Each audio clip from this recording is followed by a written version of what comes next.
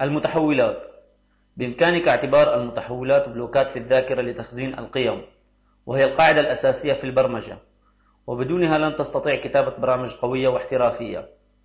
لو حاولنا جمع الرقمين أربعة واثنين فببساطة سنكتب العبارة البرمجية التالية. إن الكود السابق مفيد فيما لو أردنا جمع الرقمين اثنين وأربعة فقط.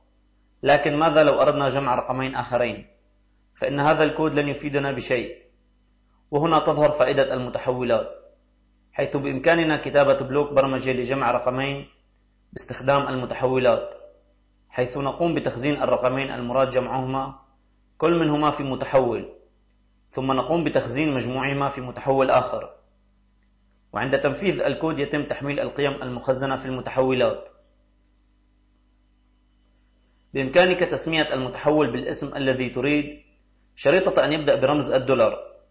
واسم المتحول يمكن أن يتضمن الحروف والأرقام والإشارة أندرسكور أي أن اسم المتحول لا يمكن أن يحتوي محرف غير أبجدي.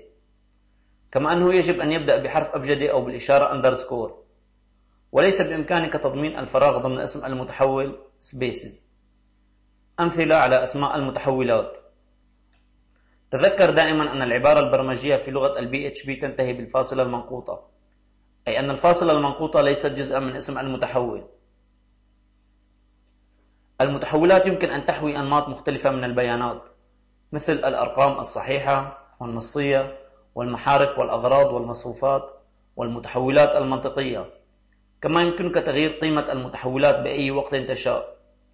بإمكانك التصريح عن المتحول وتخزين قيمة في المتحول بنفس العبارة البرمجية.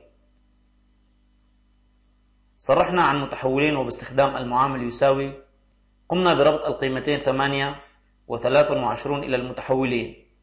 وبعد ربط القيم أصبح بإمكانك إجراء العملية التي ترغب بها على قيم المتحولات.